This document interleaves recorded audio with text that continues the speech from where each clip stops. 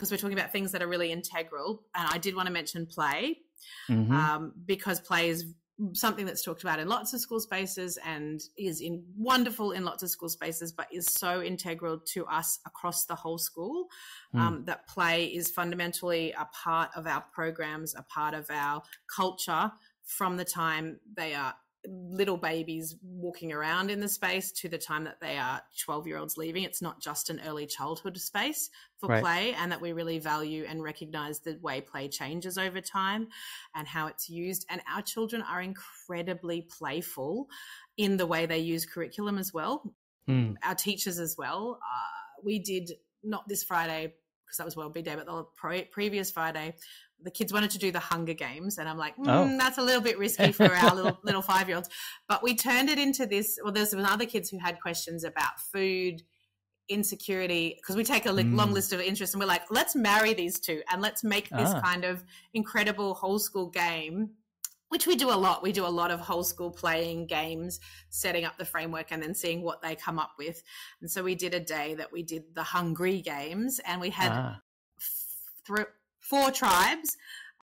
So there was a hill tribe, a snowy mountain tribe, all different biomes, which they love because it's Minecrafty. Right. And, and so we all had to go into these biomes and make shelters, make food, make a culture, and then learn that actually we didn't have enough food for the for the constructs of this game. They didn't have enough food for the tribes to survive unless Mm. they found connections with the other cultures. And so it was this collaborative game where they had to get their tribe working well, but then find a way to physically connect with other tribes that were all around the space.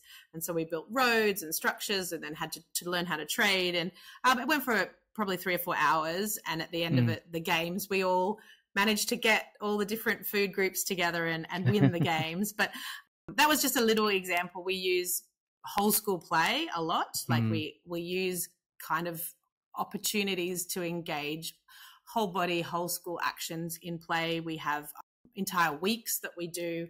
The whole school becomes a town and we run businesses and there's natural disasters and Mm. we have to adapt to things and we use a lot of that kind of dramatic play in our work we also do you know obviously there's physical play every day there's you know multi-age play we start our day with time that is just brain breakfast getting your brain Mm. ready for school but it's really just opportunities to play across the whole school with physical games and dramatic play games and creative play and art play and so yeah i just think it's really important when we when we talk about our school we talk about community and play and democracy as being the Mhm. three pillars of what we do and What were those again? defi- community play and democracy so Okay.